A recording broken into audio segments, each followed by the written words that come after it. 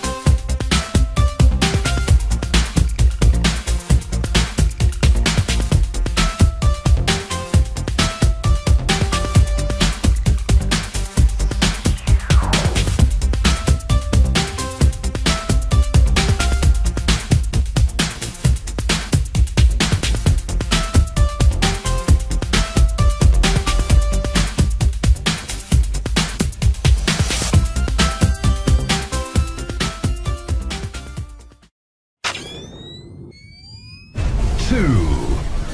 Look at the rear view mirror. Starting from here is the power key, then we have the menu key, mode switch, navigation keys and confirm. This area is where the screen will appear once the device is powered on. Facing this way we have DC in, the micro SD card slot, AV in and USB slot. On the very back we have the reset button, the built-in mic and over here is the front facing camera. To set the device up in the car, the first thing you will need is the two bands that come in the box. You have to attach them first to either the bottom or the top of the hooks on the top of the rear view mirror. Then once both are on like this, you want to place it over your previous mirror in your car. Then you stretch the bands to come over and meet the other side and clip them in. Since the camera is on the other side, you don't want to block it when fitting it on. Then lastly, using the double-sided sticker that also came in the box, you can stick it to the back camera and have it facing through the back window of the car. Since the back camera is waterproof, you can also attach it to the boot like this, which is optional. The device works without the back camera plugged in, so it's optional if you just want to record from the front at any other time. Once you want to use the back camera, have it fitted around the top of the car to not get in the way and plug it in the AV slot on the mirror. After everything is set up, let's power up and go through basic navigations. It takes a couple of seconds to power up and once it is on, it will record automatically. Pressing this will bring you to the menu screen where you can see a list of various settings.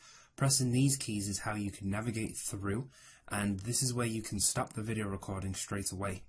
Going back out now, pressing this key is to switch from video to image mode and also to go back and view previous recordings by pressing OK.